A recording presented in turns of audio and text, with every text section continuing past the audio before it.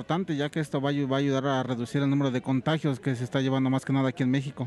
Y más ahora que este, se, bueno, se, se ve que se viene la tercera ola de COVID.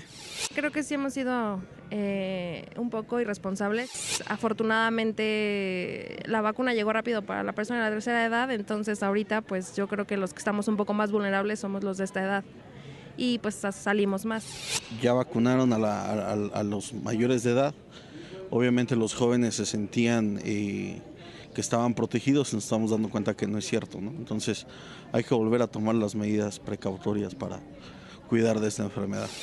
Vacúnense, sí sirve. Bueno, esta es la voz de las personas que han acudido ya a vacunarse. Recordemos, la vacuna no nos exenta de un contagio, pero previene que enfermemos gravemente de COVID-19, o sea, que nos moramos. Es importante que acudamos a vacunarnos. Eh, llevamos al menos cuatro semanas de aumento en el número de casos todos los días.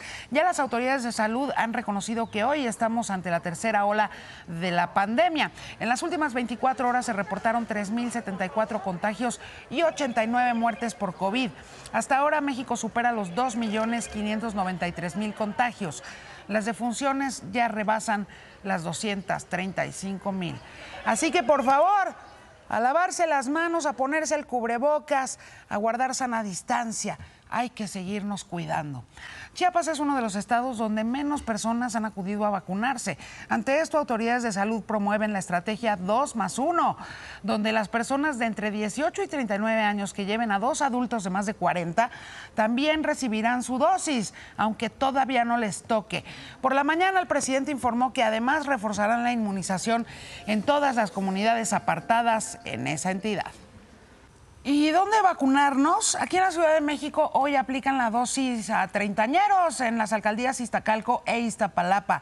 Recibirán la vacuna de AstraZeneca hasta el 17 de julio. También hay programa en San Simón de Guerrero, Domex, así como en varios municipios de Hidalgo para adultos de 40 a 49 años y en Puebla para los de 40 a 59.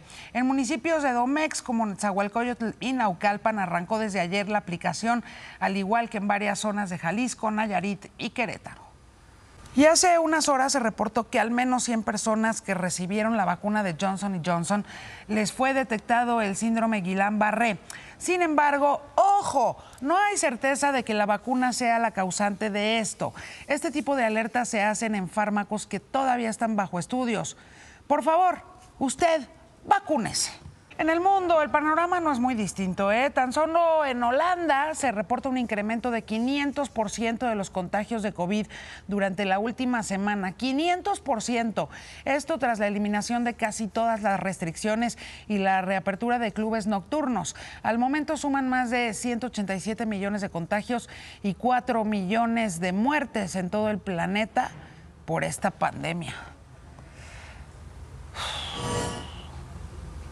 Así que insistimos, por favor, la pandemia todavía no termina, no se quite el cubrebocas, mantenga sana distancia, abra las ventanas, esté lo más, digamos, lo más al aire libre que se pueda. No es momento de pachangas, todavía no. Del cuidado que tengamos depende que muchos otros mexicanos puedan regresar a sus actividades con el menor riesgo posible y que no se eleven las hospitalizaciones a estados críticos.